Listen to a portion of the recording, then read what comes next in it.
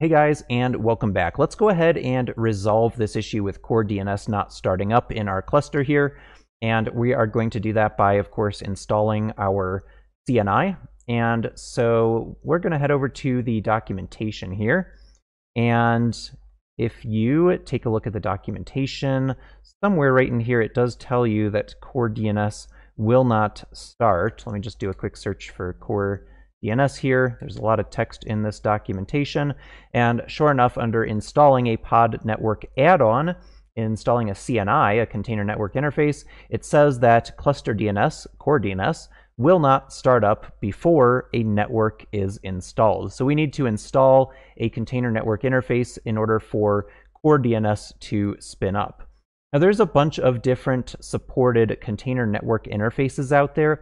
However, there is one in particular that I like, that I've tested out that works well, which is called Project Calico. So if you just head out and search for Project Calico, this is an open source project from a company called Tigera. And Project Calico provides your container network interface as well as network policy capabilities as well. So this is a really cool open source project that is available out on GitHub. So I am going to go ahead and go back and just add on GitHub to our search here. And once we get over to GitHub here, this should take us over to the project page here. And then we are going to look for how to get started running Calico. They've got a link to a quick start guide on their documentation that kind of describes how to get Calico up and running on your Kubernetes cluster. And they've got a few different options. So if you're using a managed public cloud offering like EKS or GKE or AKS, uh, they've got directions for those. They've also got self-managed public cloud options here as well. Um, but in this particular case, I'm actually going to do self-managed on premises and uh, choose that option. And then we're just going to scroll down a little bit here and look for how to install Calico with the Kubernetes API data store of 50 nodes or less. And so they've got a really simple command to just download a YAML configuration file for Calico here. So we're going to download that, and then we are going to just run kubectl apply on that YAML file, and that should get Project Calico, the CNI, up and running inside of our environment. And you can kind of see what features we get here. We get network policy, IP address management, of course, the CNI itself, the overlay, routing capabilities, as well as the data store integration here. So let's run our curl command here. For starters, just copy that to my clipboard and download that file, and then we can explore it. So we'll just cat that file here. And this is a really, really large file, but it basically contains all of the necessary components in order for Calico to get up and running. You can see we have a deployment there, and we've also got, let's see what else, if we keep scrolling up, we've also got a um, rolling update strategy here for a daemon set. We've got a daemon set that's running a Calico node right here. And we've also got a cluster role binding here and a bunch of other resources, but I won't bore you with all the details on that. And then let's go ahead and do a kubectl apply. So we'll just copy this command here. I could just type it out, but I'm just feeling lazy right now. And that's going to go ahead and apply the entire YAML file to our network here.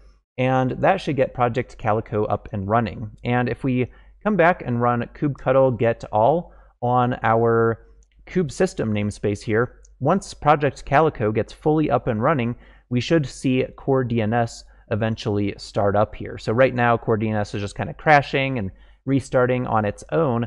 But once Calico is up and running and initialized here, you'll see that sure enough, core DNS is up and running. And it looks like Calico node is up and running as well. And Calico kube controllers is still in the creation process. But in a few more seconds, you'll see that that comes up and running as well. So now we've got a fully functioning cluster here. We've got Core DNS running. We've also got Project Calico running as our container network interface. And so we could go ahead and run a test pod. So I'm going to use an Nginx test pod as an example just to make sure that we can spin something up.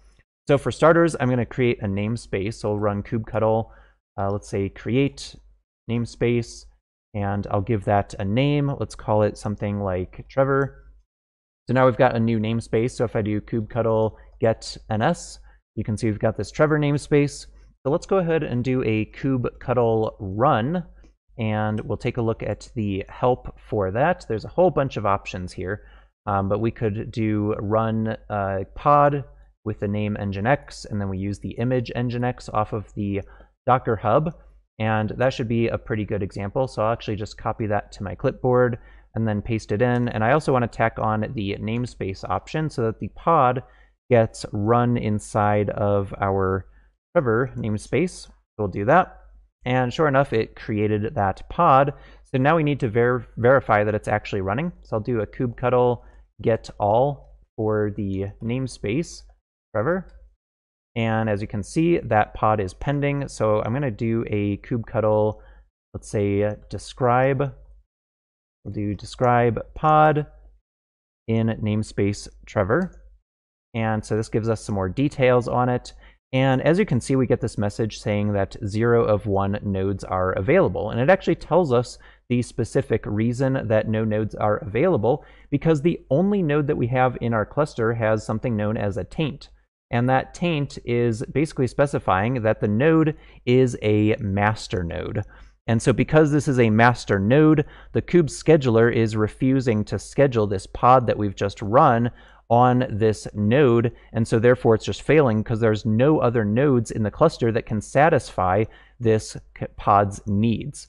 So what we can do if we switch back to our documentation here, they actually provide a command that we can use to untaint the node with that master annotation.